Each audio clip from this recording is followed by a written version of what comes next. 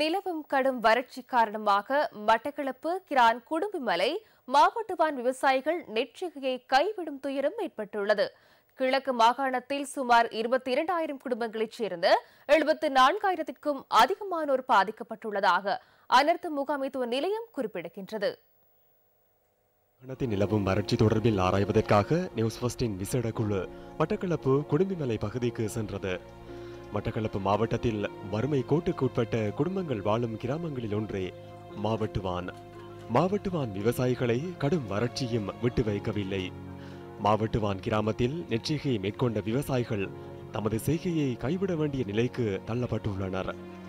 நிலவும் கடும் வறட்சி காரணமாக மாவட்டுவான் குளம் முற்றாக வற்றியுள்ளதால் இந்த நிலை ஏற்பட்டுள்ளது. மாவட்டவான் குளத்தின் அணைக்கட்டு உயர்த்தப்படும் பட்சத்தில் அதிகளவு நீரை சேமிக்க முடியும் என விவசாயிகள் சுட்டிக்காட்டுகின்றனர். வங்கியில் கடன் பெற்றும் நகைகளை அடகு வைத்தும் நிச்சயில் ஈடுபட்ட இந்த விவசாயிகள் தொடர்பில் இதுவரை கவனம் செலுத்தப்படவில்லை. அந்த அவ்வளவு வயலுக்கும் கூட கொஞ்சம் கூட எங்களுக்கு ரெண்டு தண்ணி பாய்ச்சுறது கூட இந்த குளத்தில் எங்களுக்கு தண்ணி பிடிக்கல. கழுத்தில் காதில் எல்லாம் கிடக்கிறது எல்லாம் கொண்டு வீடு வச்சு அப்படி இப்படி செய்து போட்டு தான் இந்த மக்கள் வெள்ளாமை செய்தவன்கள் செய்தும் பெருமாக்களை தனிமரமாக நிற்கிறானுங்க இப்போ. என்னதான் வந்து கடையில் எடுத்த கடன் கட்ட வைக்கலாம் நான் கணக்கு கஷ்டப்படுறோம். கடையில் போய் கடன் நாடு வரணும் எண்ணி எல்லாம். கடந்த பல மாதங்களாக நிலவும் வறட்சியினால் சுமார் இருநூற்று ஐம்பதுக்கு மேற்பட்ட ஏக்கர் நெற்றிகை அழிவடைந்துள்ளமை நியூஸ் ஃபர்ஸ்ட் குழுவினருக்கு பதிவானது. கைவிடப்பட்ட நெற்றிகை பூமி இப்போது கால்நடைகளின் மேய்ச்சல் தரையாக மாறியுள்ளது. கிரான் மாவட்டுவான் விவசாய கண்டத்திலே காலபோகத்திற்காக பயிரிடப்பட்ட இந்த விவசாய நிலம் ஒரு மாதத்திற்கு முன்னர் பசுமையாக இருந்தது. இன்று வறட்சியால் வறண்டு போயுள்ளது. இந்த மக்களின் ஒரே ஐயப்பாடு அடுத்த போகத்தை இவ்வாறு தாம் ஆரம்பிப்பது. இதற்கான உதவிகள் கிடைக்குமா? வாங்கிய கடனை எவ்வாறு செலுத்துவது? அதற்கான நடவடிக்கைகளை அதிகாரிகள் எடுப்பார்களா? இந்த கேள்விகளோடு இந்த விவசாய நிலத்தை இன்னும் ஓரிரு நாட்களில் கைவிட்டு செல்வதற்கு விவசாயிகள் தயாராகி வருகின்றார்கள். இரவில் யானைகளிடமிருந்தும் பகலில் கால்நடைகளிடமிருந்தும் பாதுகாத்த செய்கையை வறட்சிக்கு காவு கொடுக்கும் நிலை ஏற்பட்டுள்ளது.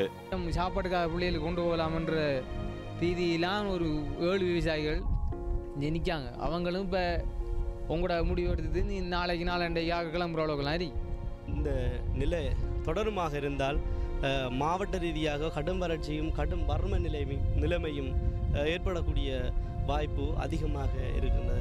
கடந்த போகம் வெற்றியளிக்க அரசு அதிகாரிகளை அழைத்து அறுவடை விழா நடத்திய இந்த விவசாயிகள் மீது அந்த அதிகாரிகளின் பார்வையும் இப்போது திரும்பவில்லை.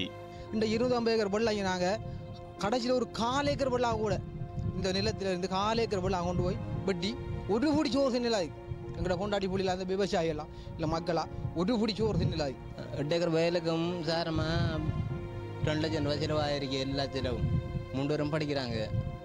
சோத்துக்கு வச்ச நெல்லை கூட வித்து போட்டு தான் இந்த வயலில் ரெண்டாகி போட்டது கொண்டு போட்டதுனால ரெண்டாகி சாப்பிட்றது கூட வழியில் ஒரு நிலையில் தவித்து கொண்டிருக்கிறோம். இந்த போகத்திற்கு பெற்ற கடனை செலுத்துவதற்காகவேனும் அடுத்த போகத்தை வெற்றிகரமாக முன்னெடுக்க வேண்டும் என்பதே இந்த விவசாயிகளின் எதிர்பார்ப்பு.